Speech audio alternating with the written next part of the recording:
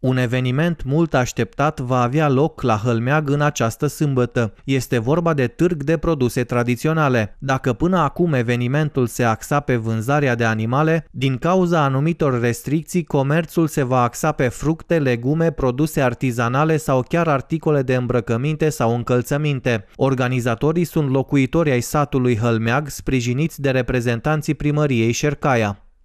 În primul rând că a fost un târg mai mic, a fost pandemia, nu s-au ținut târguri, în continuare există interdicție de la Direcția Sanitar Veterinară, odată. Și a doua problemă mare este că unde se ținea târgul, locul a fost revendicat, a fost retrocedat, există titlul de proprietate, ceea ce nu pot să mă duc să țin târgul pe o locație privată. Dar la solicitarea consătenilor din Hălmeag, a fost discutată cererea dumneavoastră în Consiliul Local, anterior, de luna trecută, în care și-au exprimat dorința să țină târgul în sat și să nu fie târg de animale, să fie târg de produse. Ceea ce niciun consilier nu a avut uh, de obiectat, toți au fost de acord. A rămas ca în sarcina organizatorilor noi să participăm cu ceea ce ne solicită și să îi sprijinim să organizăm acest târg. Din punct de vedere al administrației locale le dăm pe concursul ca să desfășoare în bune condiții.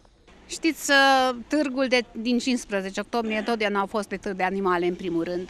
Însă din cauza pandemiilor de animale, deci știți dumneavoastră, pesta porcină, gripa aviară și toate cele, au fost întârziate târgurile de animale și atunci ne-am gândit măcar să păstrăm tradiția printr-o organizare unui târg de produse. Și din moment ce nu sunt animale, deci nu avem nevoie de locația veche unde este, mă rog, foarte mare teren și încap toți.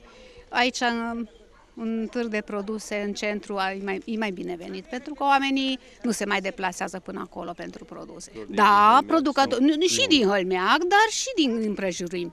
Deci vin mulți producători care vor să vândă, vor să vândă aici și, mă rog, târgul din Hălmeac este destul de profitabil, după mine, chiar și până astăzi. O să așteptăm și așteptăm cu cât mai multe produse, cu cât mai diverse produse, uh, legumicole, legumicole uh, fructe, uh, cereale, putem acceptăm și cu încălțăminte, îmbrăcăminte, produse artizanale, deci tot ce se poate vinde la un târg agroalimentar.